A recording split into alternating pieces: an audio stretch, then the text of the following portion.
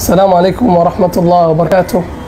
Ndugu mtazamaji, tunamshukuru Mungu kwa kuwa alhamdulillah tumeendeleza mchango wetu wa mgonjwa wetu ambao kwamba yuko na kansa ya koo na hivi kidogo amezidiwa, ameletwa hapa Mewa, amelazwa na alhamdulillah, mwanzo tuliweza kupata shilingi elfu hamsini peke yake na tukaweza kumletea muhusika ambao kwamba ni bwanake hizo elfu hamsini na hivi sasa tumeamua tumletee ile pesa ambayo kwamba mmeweza kuchangisha, hata kama kuna uzito wa hali ni ngumu, lakini mmeweza kuchangisha.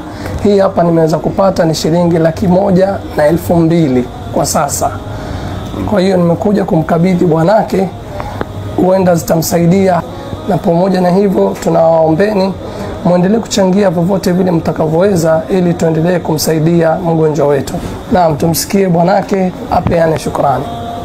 Assalamu alaikum warahmatullahi wabarakatuh. Mimi sina mengi ila kusema shukran wa jazakumullahu khair na dua zenu inshallah.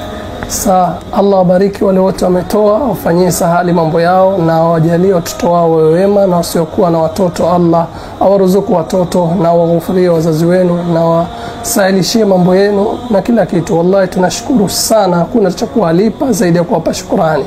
Na dada yetu mgonjwa huyu bado anahitajia usaidizi, sio wa pesa tu, bali wa dua. Kila mkiketi mumwombee Mungu Allah msahilishie. Tunajua ya kuwa pesa haina thamani kushinda nafsi ya mtu, na biidhnillah yoyote ambao kwamba yuko willing bado kusaidia, yuwakaribishwa aendelee kusaidia, kwani zile pesa anazopata bado anaendelea kutumia masipitali masipitali, na hivyo hivyo bado tuna tunao tamaa, tunahitajia bado tumpeleke India kwa matibabu. Kwa hiyo tunawapa shukurani na tunawahimiza tuendelee kumsaidia dada yetu, ili na yeye apate kurudi kuwa mzima, acheke na ongee na aketi na watoto wake kwa furaha na tabasamu.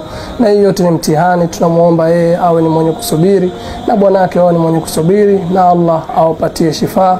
Wassalamu alaikum warahmatullahi wabarakatuh.